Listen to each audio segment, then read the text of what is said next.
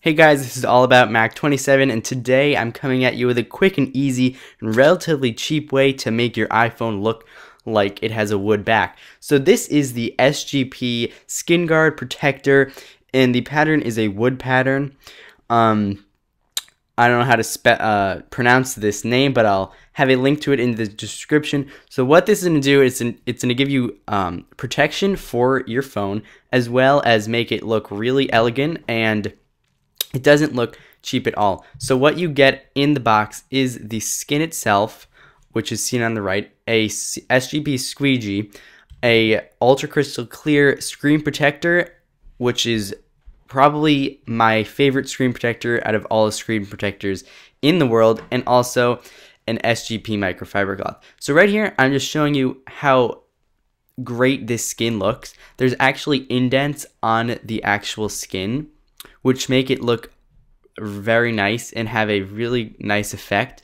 Um, it was very easy to install, and I don't think I got one bubble when in installing it. I went to go um, and install it from the top to the bottom, and the probably only thing that would be bad about this is that the Apple logo is open so you may get scratches that, that way, but it is raised, so I don't think that'll be a problem. And it looks really nice. It fits really well around the edges, and there's not a lot of space left over.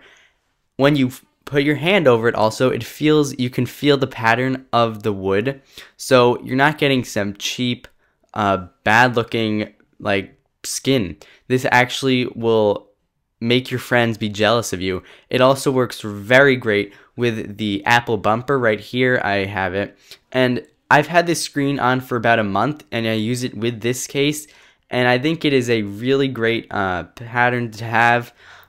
And also it fits many cases as well. I've had, I haven't had a problem putting any cases on. So this has been all about Mac 27 with a quick review of the SGP Skin Guard for the iPhone and iPhone 4S. Thanks for watching.